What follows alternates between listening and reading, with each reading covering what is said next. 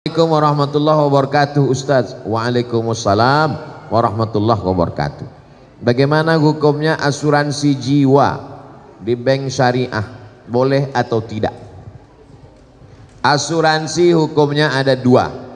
Yang pertama mengatakan asuransi hukumnya haram Karena ada unsur horor gambling judi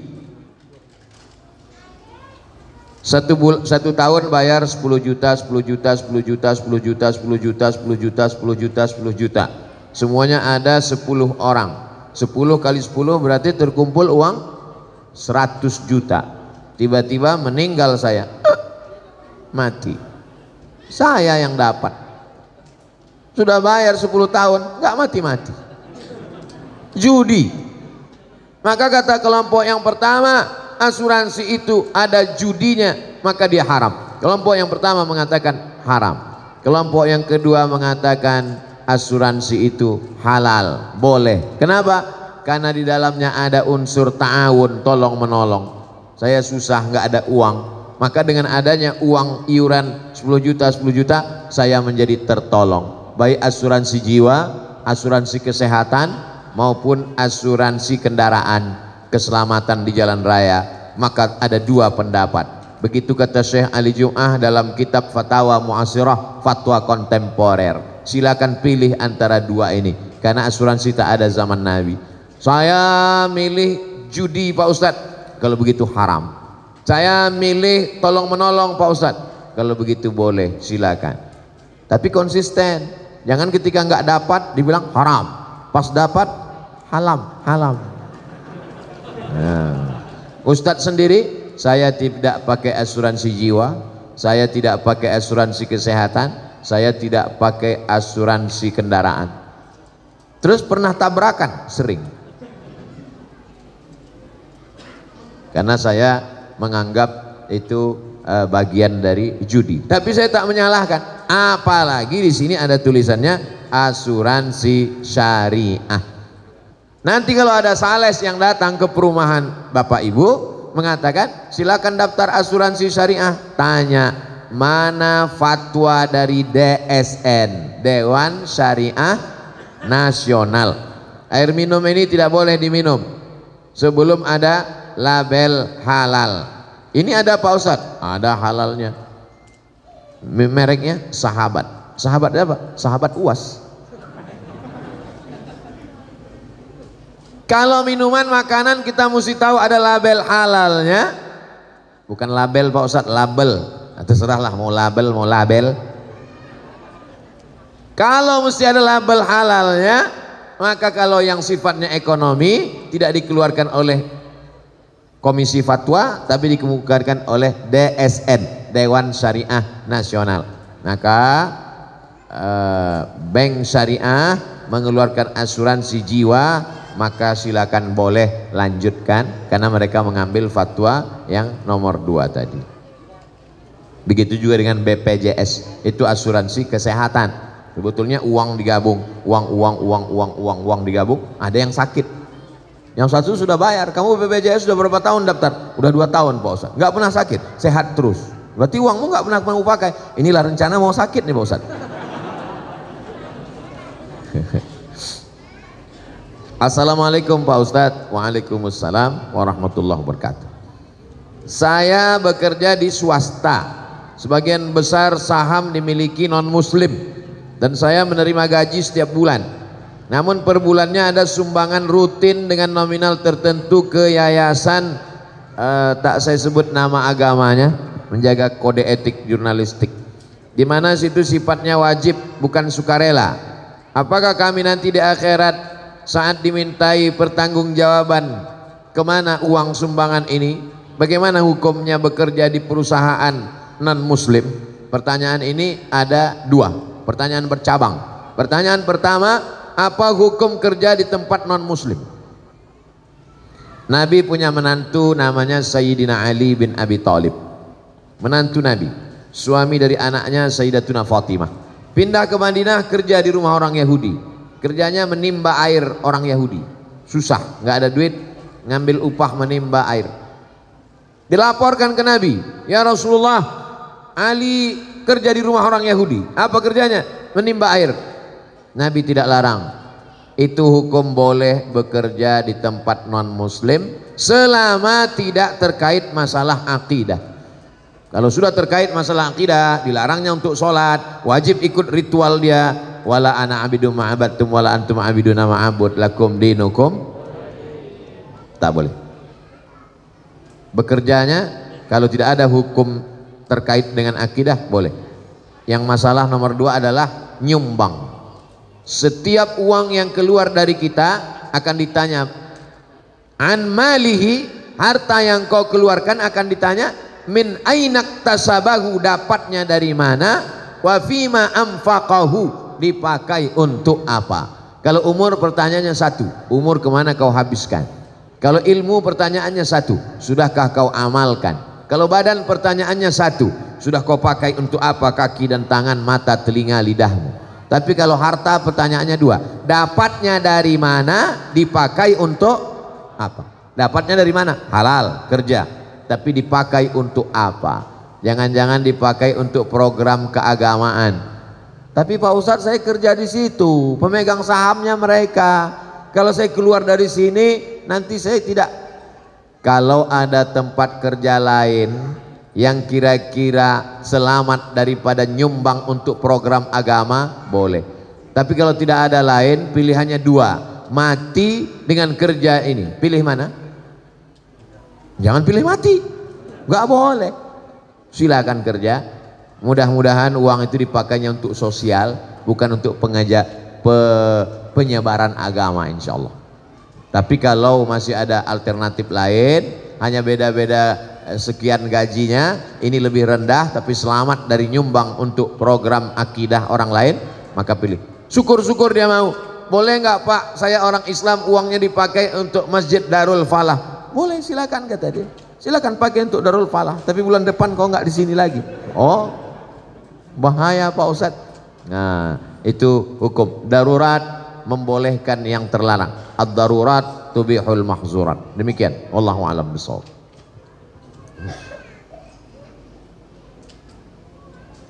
Assalamualaikum Ustadz Somad Waalaikumsalam warahmatullahi wabarakatuh Kalau punya hutang sholat bertahun-tahun Bisa nggak dibayar ketika sholat rawatib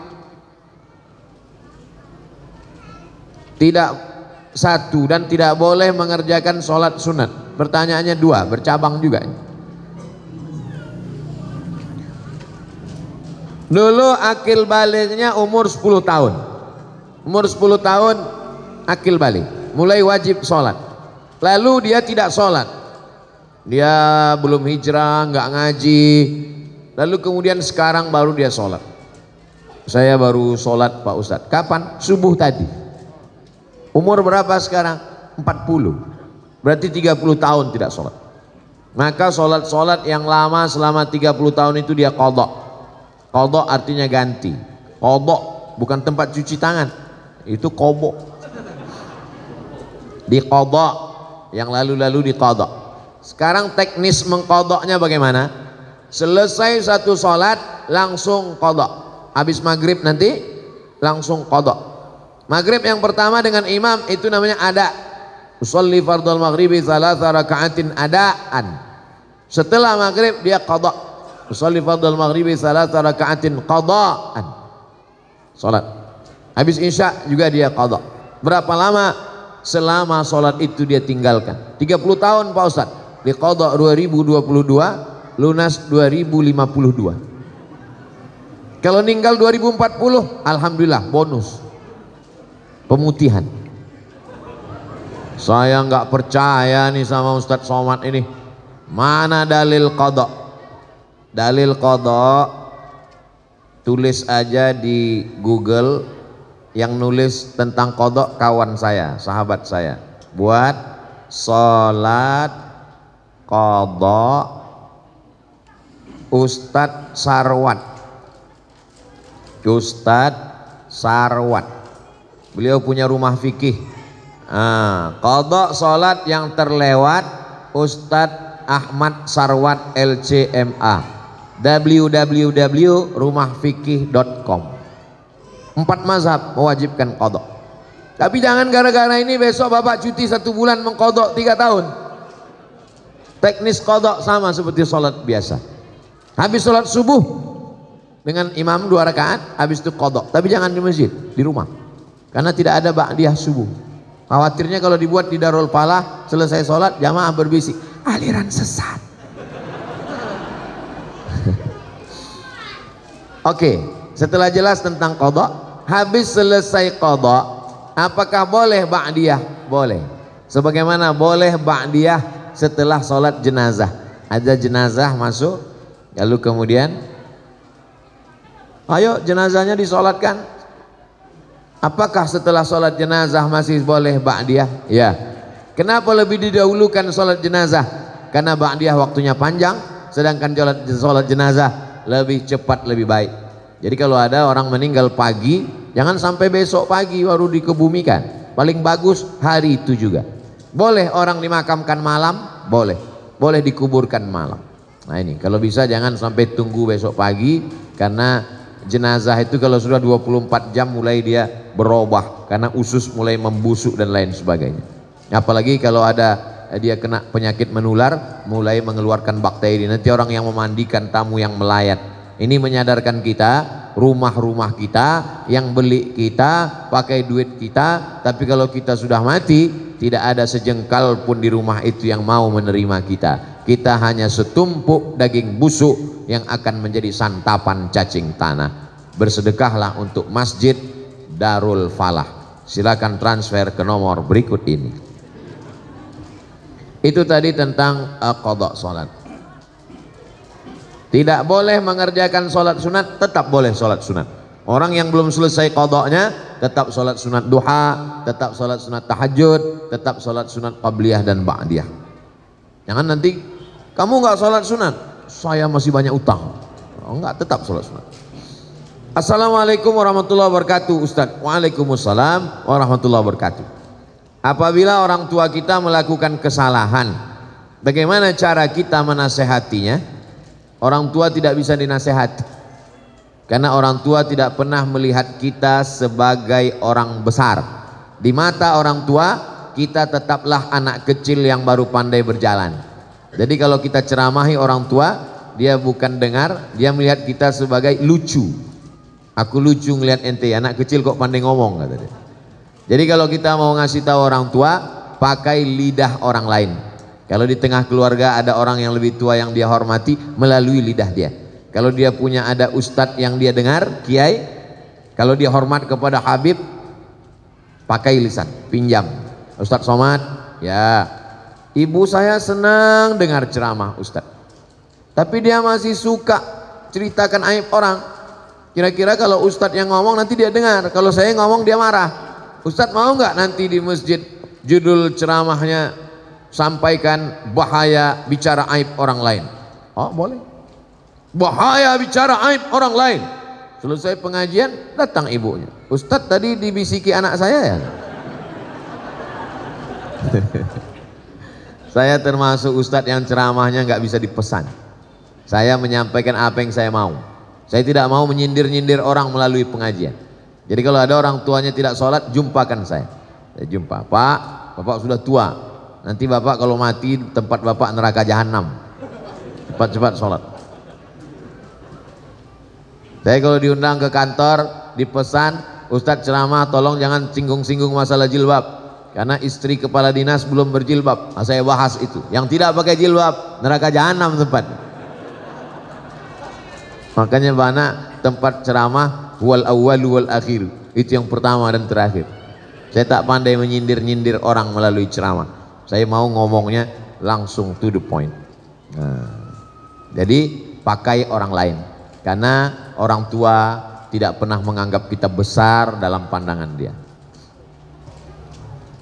Kadang anak-anak muda ini kalau udah ikut pengajian pulang-pulang mau menceramahi orang tua. Ulang ceramah, pengajian, panggil orang tua. Papa sini, mama. Ya ayuhalladzina amanu. Oh nggak bisa begitu. Dia lebih banyak makan asam garam dari kita. Karena banyak makan asam garam itulah maka darah tingginya kuat. Assalamualaikum Ustaz. Waalaikumsalam. Bagaimana sikap kepada saudara yang murtad? La yahillu damu mri'im muslim illa bi ihda salas. Tiga halal darah orang muslim ditumpahkan kecuali dia melakukan tiga. Siapa yang melakukan tiga maka boleh dipancung kepalanya, mati. Yang pertama an-nafsu bin nafsi, pembunuh. Dalam Islam pembunuh tidak dihukum penjara, tapi hukum pancung.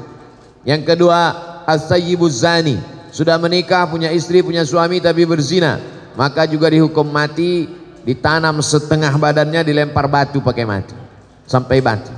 Yang ketiga, at-tariqu lidinihi al-mufariqu lil jamaah. Orang yang murtad meninggalkan agama Islam, maka dianggap pengkhianat, maka dia dihukum mati, hukum pancung menurut hukum Islam.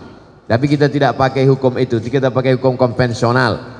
Apalagi liberal sekuler bebas Orang gonta-ganti agama seperti ganti sendal, seperti ganti baju. Pakai baju ini tipis kedinginan, pakai baju tebal. Pakai baju tebal kepanasan, pakai baju tipis. Enak saja. Bahkan di oh, podcast orang murtad enak aja ngomong seenaknya menghina agama.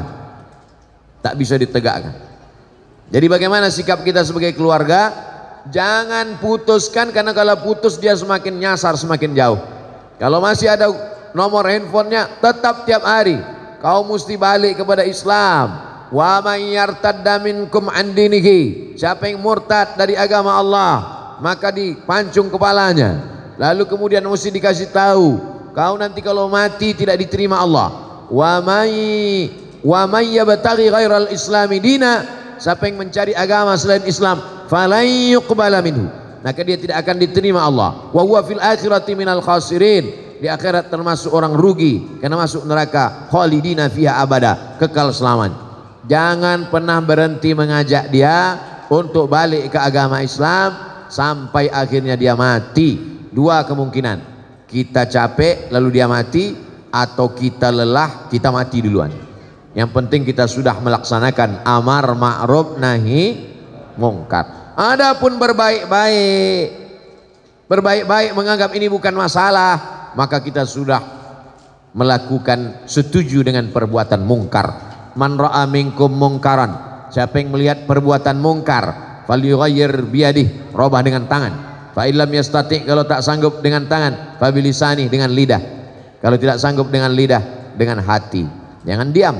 Karena diam berarti as-sakitu anil haq setan akhras. Orang yang diam terhadap kebenaran diinjak-injak. Orang minum khamar aja kita tak boleh diam. Innamal khamru khamar wal maisir judi wal ansab menyembeli binatang untuk berhala wal azlam mengundi nasib rijsun najis min amali syaitan perbuatan syaitan. Ibu jauh apalagi yang lebih hebat daripada zina lebih hebat daripada minum khamar apa dia? Murtad. Nauzubillah. Mudah-mudahan Allah selamatkan keluarga tetangga anak cucu kita dari murtad ini. Luar biasa gerakan pemurtadan sekarang. Dinikahi pura-pura masuk Islam setelah punya anak dia ancam. Kalau kamu mau tetap suami saya ikut agama saya. Kalau kamu tidak mau saya tinggalkan. Perempuannya tidak kerja tidak ada duit takut akhirnya murtad. Pemurtadan dengan cara nikah. Pura-pura masuk Islam robah KTP habis itu punya anak satu murtad. Tak terhitung jumlahnya. Makanya anak-anak ibu kalau pacaran lihat dulu agamanya. Jangan karena mobilnya lalu dinikahkan Jangan karena pekerjaannya, karena PNS-nya, karena jabatannya. Rugi. Allah selamatkan. Tidak apa-apa, kejam-kejam marah-marah sedikit. Lebih baik daripada nanti menangis di akhir masa. Kakek-kakek, nenek-nenek umur 70 tahun datang ke kantor Basnas. Waktu itu saya dewan sosialisasi Basnas. Ustadz Soman nggak usah ikut rapat. Kenapa Pak Ketua? Ustadz itu ada mau orang konsultasi. Ada apa Pak? Anak saya perempuan nikah dengan non muslim dia mau alaf masuk Islam. Setelah anak tiga dia murtad. Sekarang lima keluarga saya murtad Pak Ustaz. Anak saya, mantu saya, cucu saya tiga. Saya waktu itu ragu mau ngasih tahu tegas siapa yang mur. Saya takut saya gitu dua-duanya meninggal. Saya bilang bapak pulang aja ke rumah makan enak banyak-banyak zikir banyak-banyak doa Mudah-mudahan Allah balikkan hatinya. Sudah tak tertolong lagi bagaimana caranya? Ini berawal dari kenapa bisa anak nikah dengan orang tidak seakidah. Karena gara nonton sinetron, gara-gara nonton artis infotainment, beda agama nggak apa-apa. Dalam Islam tidak bisa. Dalam Islam yang pertama kali dilihat adalah agamanya. Tungkahul mar'atu li arba, perempuan dinikahi karena empat, lima liha karena hartanya, wali hasabiha karena keturunannya, wali jamaliha karena kecantikannya. Tapi pandang yang keempat, fazfar bidatid din, lihat agamanya. Taribat siadakah, kau akan selamat. Kalau mau mencari menantu laki-laki, idza ja'akum man tardawna dinahu. Kalau ada orang yang meminang anakmu, maka yang pertama kau lihat din agamanya, wa khuluqahu akhlaknya. Ini mentang-mentang ada orang Minang anak begitu dibuka gorden dilihat mantu mobil baru. Oh ini dia sesuai dengan istikharahku tadi malam. Istikharah cinta. Oh inilah calon mantu kita. Padahal suaminya udah ngasih tahu ojo ke susu bu. Inilah dia. Ternyata setelah dinikahi seminggu murtad dia. Dunia tak dapat, akhirat tak dapat. Menangis anak pulang meleleh air mata. Mama, kenapa? Mobilnya kredit. Dunia tak dapat, akhirat melayang. Nauzubillah. Mesti tanya-tanya, mesti resek, mesti cerewet demi keselamatan anak. Yang sudah terjadi apa boleh buat? Nasi sudah jadi tai ayam. Orang sudah murtad, ibu cerita bubur juga lagi.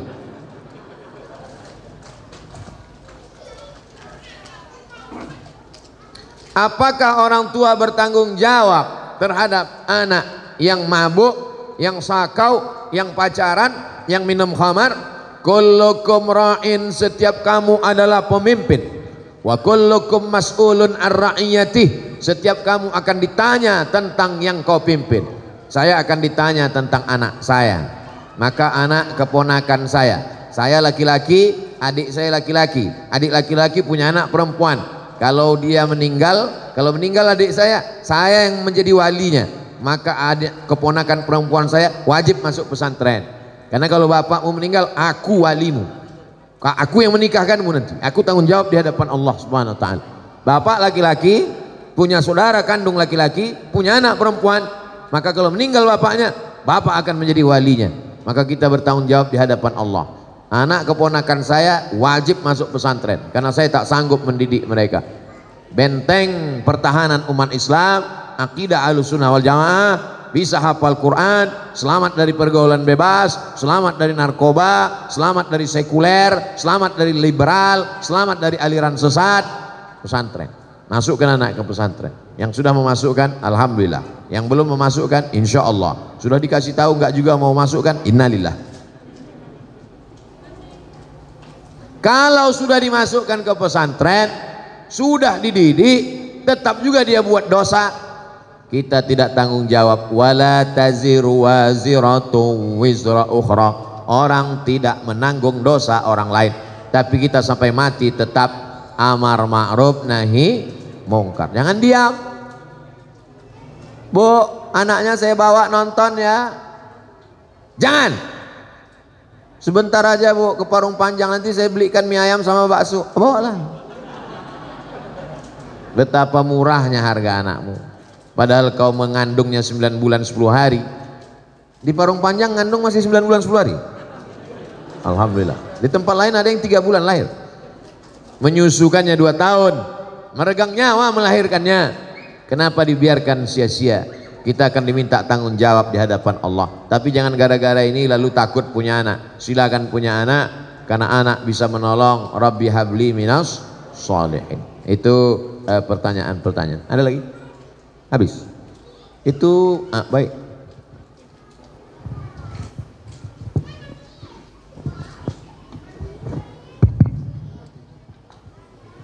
Assalamualaikum Ustadz Abdul Somad. Pertama-tama saya meminta eh, apa namanya tahu saya ini diijazahkan khususan buat saya umumnya buat jamaah ini untuk diambil ilmunya Ustadz.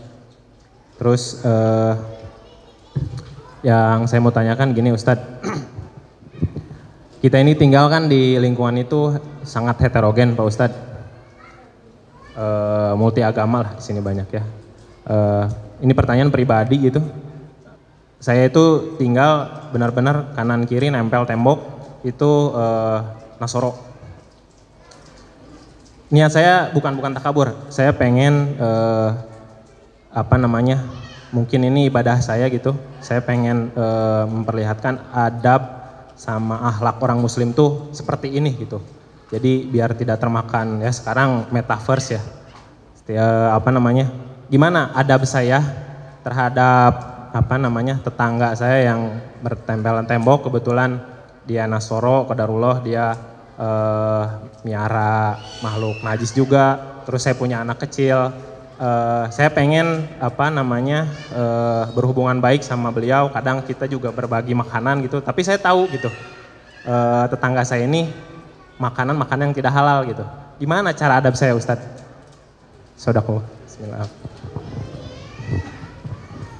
Saya bertetangga dengan non muslim sampai kelas 6 SD. Setelah itu orang tua saya pindah, tapi hubungan saya sampai hari ini baik. Masih WA-WA. Masih kirim-kiriman. Ada rumah Quran di daerah itu perlu bantuan semen. Yang WA saya yang non muslim tadi. Ustadz Somad, dekat rumah kita ada rumah Quran sekarang sedang pembangunan. Ada orang di Jakarta mau dapat jadwal ceramah TNI melalui yang non muslim tadi. Jadi hubungan kami tetap baik. Dalam hubungan sosial, tapi dalam hubungan akidah wala ana abidum ma'abattum wala antum abiduna ma'abud lakum dinukum. Dulu kalau hari raya dia dia kirim kami makanan, tapi dia tahu kita tidak makan makanan dia, dia kasih kuehnya kue kotak, kue bungkus pabrik halal, minuman minuman kaleng. Kita saling menjaga. Sebetulnya yang merusak ini provokator provokator. Medsos ini luar biasa fitnahnya. Adapun bertetangga menjaga adab, justru dia masuk Islam karena adab itu. Ada seorang imam namanya Imam Al Hasan Al Basri meninggal tahun 110 Hijrah, punya tetangga non muslim, rumah tetangganya di atas bukit, dia di bawah. Lalu kemudian suatu ketika Imam Hasan Al-Basri sakit, tetangga yang non muslim masuk menjenguk ke ruang tamu. Hasan Basri mana? Dia di kamar, tetangganya masuk ke kamar. Sampai di kamar, di pojok rumah ada ember. Tetangganya nanya, itu air apa Hasan Basri? Itu air dari atas kalau nggak salah itu pojok kamarmu pas WC saya. Sudah berapa lama kamu nampung air ini? Isrun sana, 20 tahun sudah aku tampung. Agama apa yang mengajarkan lembut ini Hasan Al-Basri? Saksikanlah wahai Hasan Al-Basri. Asyhadu an la ilaha illallah wa asyhadu anna Muhammad Rasulullah. Kisah ini ada dalam kitab Waraib wa Taraib ditulis oleh Syekh Abu Amr Al-Misri sa'ah wa sa'ah, oraib wa taraib. Kejadian-kejadian unik dalam sejarah Islam. Masuk Islam bukan karena dia ajak. Masuk Islam, kalau tak masuk Islam neraka jahanam. Masuk Islam karena tersentuh hatinya. Orang kalau sudah kau sentuh tepat di hatinya, dia akan jadi milikmu untuk selamanya. So sweet. 20 tahun menahankan itu, buahnya ada tetangga masuk Islam. Kita kadang dia baru salah parkir sekali sudah keluar kebun binatang dari mulut kita. Dia punya anjing, lebih galak pula mulut kita dari anjingnya lagi. Adapun dia punya anjing, kita usahakan bagaimana caranya, apa pantang yang membuat kira-kira anjing itu tak masuk ke halaman kita. Karena kalau sampai air liurnya basah, kalau kering sama kering tak apa. Tapi kalau sampai basah sama kering, maka mesti dibasuh tujuh kali. Kalau sampai anjing itu mengeluarkan air liur di halaman, lalu kemudian halamannya itu anak kita jalan kena kakinya mesti kita siram kaki anak kita itu tujuh kali dengan air salah satunya dengan air yang dibasuh tanah kalau di sini ada tetangga punya anjing sementara kita tidak punya pagar mesti izin ke developer atau ke lingkungan mesti pagar. Karena kalau tidak anjingnya apa kan? Akan masuk. Atau dibuatkan aturan. Siapa yang melihara anjing mesti di dalam rumah dia. Dua kemungkinan. Anjing itu mesti di rumah dia atau rumah kita berpagar. Karena kalau tidak mau tak mau anjing masuk. Karena anjing tidak bisa baca. Kecuali kita bilang anjing dilarang masuk. Kita mesti menjaga ini hidup bertetangga. Karena kalau tidak ini akan merusak tatanan sosial kita. Mudah-mudahan akhlak kita membukakan pintu hidayah untuk mereka. Ayah diallahu bika rajulan wahidan. Satu orang dapat hidayah karena engkau khairum min humurin na'am. Lebih baik daripada kau memiliki dunia beserta isinya. Tentang ijazah ajaztukum jami'a marwiyati wa muallafati wa muhadarati Aku ijazahkan semua kajian-kajian, riwayat-riwayat hadis dan zikir, semua ceramah-ceramah yang buku-buku yang sudah aku sampaikan selama ini kepada seluruh jamaah Masjid Darul Falah yang hadir pada saat ini. Asa antam fa'ana fid ini mudah-mudahan bermanfaat untuk kita dunia akhirat. Amin ya rabbal alamin. Baik, terakhir.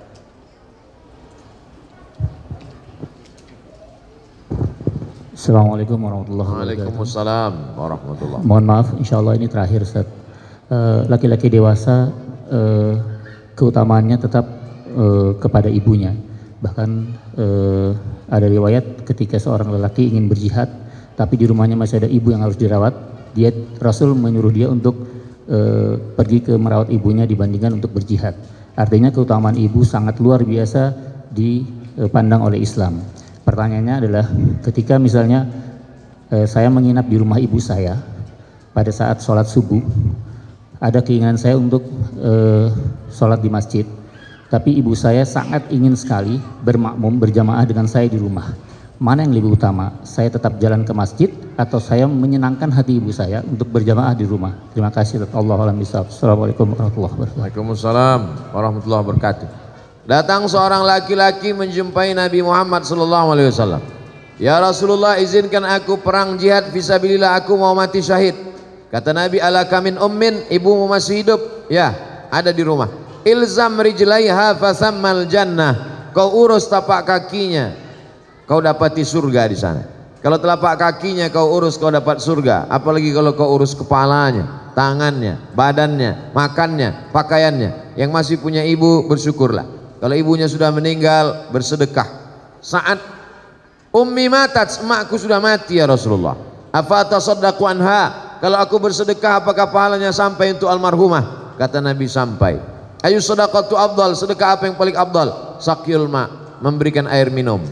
Bapak ibu yang sanggup belikan air minum kotak, sedekahkan untuk pengajian. Yang tak sanggup, buatkan sumur bor. Oh lebih mahal Pak Ustadz. Rame-rame. Satu sumur bor 2 juta, iuran dengan keluarga di pondok pesantren mengalir pahalanya. Bagaimana kalau ibu di rumah, nginap di rumah ibu, ibunya mau sholat subuh berjamaah, sementara anaknya mau sholat subuh ke masjid. Menurut mazhab Hambali, sholat subuh berjamaah, sholat berjamaah ke masjid hukumnya wajib. Berbakti kepada orang tua juga wajib. Kalau ketemu dua yang wajib bagaimana? Lihat di rumah itu ada tak orang lain? Kalau di rumah itu anaknya 10 perempuan 9 satu laki-laki maka dia tetap pergi ke masjid. Maka nanti setelah pulang ke masjid dia tetap berbakti kepada ibunya. Tapi kalau dia anak tunggal satu-satunya tak ada pembantu dan siapa pun juga dalam rumah itu. Kalau dia pergi dikhawatirkan terjadi sesuatu maka yang wajib ini lebih dikedepankan daripada dia pergi ke masjid. Menurut mazhab syafi'i solat berjamaah ke masjid fardu kifayah Menurut mazhab Maliki, sholat ke masjid adalah sunat muakkad. Andai bertemu dua yang wajib, maka dilihat mana yang lebih kuat di antara keduanya. Kalau anak tunggal sendirian, tak ada orang lain yang menjaga, maka wajib kau bersama ibumu karena dikhawatirkan akan terjadi sesuatu. Sedangkan di masjid sholat berjamaah tetap ada imam dan makmum sehingga sholat tetap terlaksana. Kalau sampai masjid Darul Falah ini kosong, tidak ada orang sholat berjamaah, satu perumahan ini istahwadat alaihimus syayatin. Satu perumahan ini diganggu setan. RT-nya kesetanan RW-nya kesetanan masyarakatnya kesetanan. Insya Allah kita sholat berjamaah di masjid. Amin. Ya rabbal alamin. Untuk segala kebaikan mudah-mudahan kita semuanya istiqomah menjadi lebih baik daripada sebelumnya.